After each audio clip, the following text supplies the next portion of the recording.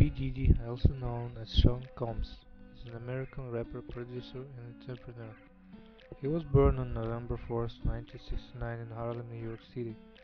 He is the son of Janice, a model and teacher, and Melvin Earl Combs, who was the associate of notorious drug dealer named Frank Lucas. Combs grew up in Mount Vernon, New York, and attended Howard University in Washington, D.C., where he studied business. After college, he worked as talent director from Uptown Records in New York City and helped launch the careers of artists such as Mary J. Blige and Jodeci. In 1993, Combs established his own record label, Bad Boys Record, which became one of the most successful hip-hop labels of all time.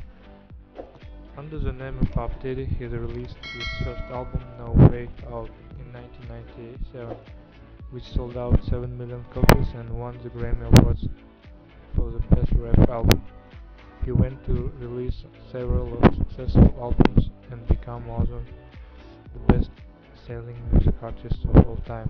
In addition to his music career, Combs has also been involved in several business ventures including clothing lines, television shows, and restaurants. He has been recognized for his entrepreneurship, including being named for, by Forbes as one of the richest people in entertainment. Combs has been married three times and has six children. His first marriage was to hip-hop artist and actress Misa Hylton-Brim, with whom he has a son, Justin. He then dated Jennifer Lopez for several years before marrying Kim Porter, with whom he had three children. Throughout his career, Combs has been involved in several controversies, including association of assault, weapon changes, and tax evasion.